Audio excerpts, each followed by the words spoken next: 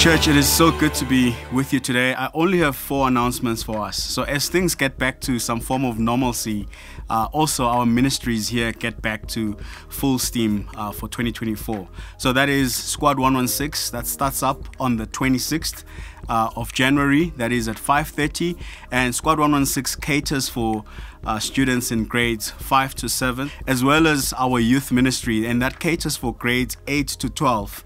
And that resumes also on Friday, the 26th of January, in the Exchange buildings. One of the key highlights for me in 2023 was our Vibe Sundays. So you might be wondering what church has to do with vibing, uh, but our Vibe Sundays were mainly uh, created as a space for meaningful fellowship here at Rosebank.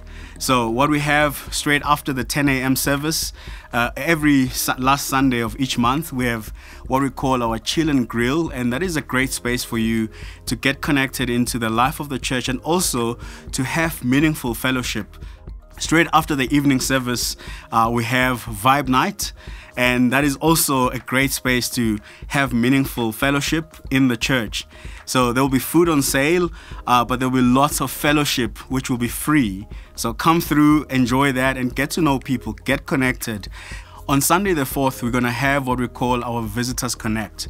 So that is for new people in the church or people that have recently joined back. Uh, here at Rosebank, we have a Visitors Connect. You'll get more information on the life of the church and also you get information on how you can be connected.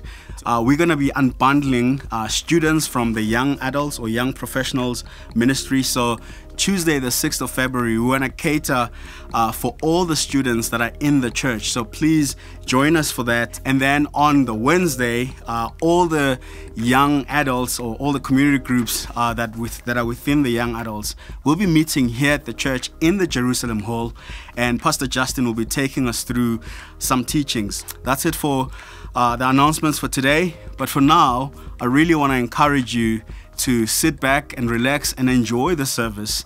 And by enjoy, I just mean encounter the Lord. That's the hope that as we gather, we'll encounter Jesus afresh.